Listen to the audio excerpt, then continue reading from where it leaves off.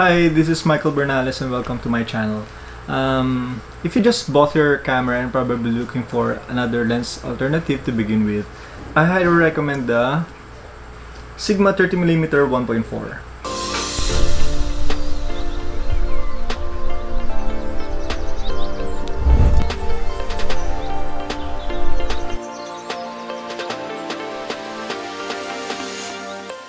Today, I'll share with you why Sigma 30mm 1.4 is my go-to prime lens.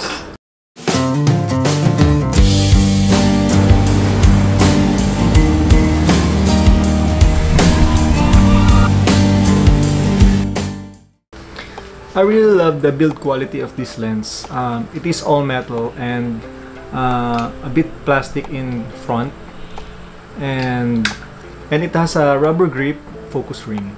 The reason why I love this lens is because of the size. It is very small, compact, and very very light. It is easy to carry around and can fit well in my small bag and ready for run and gun shooting. Here it is compared to Sony 18 to 105 and the Sigma 13mm and Sony 85 Sigma 30mm.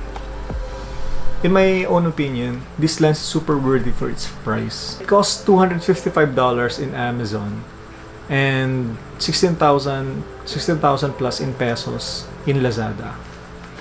Um, this lens is not a wide lens and also not a telephoto lens. It is somewhere in the mid-range. They say that 50mm is what we are seeing in our own eyes. When we convert this to full frame, we can get a 45mm uh, close to 50mm Here's some photos using this lens.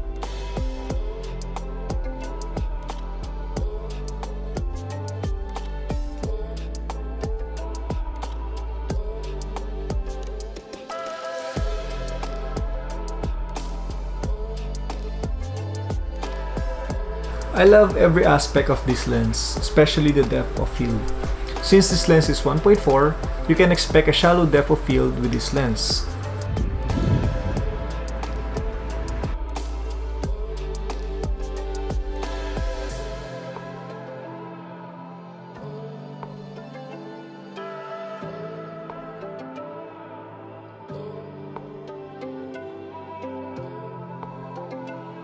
I am also amazed on how sharp this lens can give.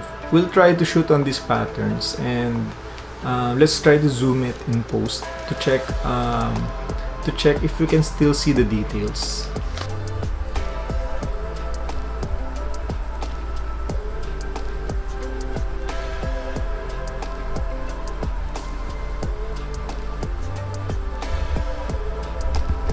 For low light situation, uh, let's turn off the light and let's see what this lens can do.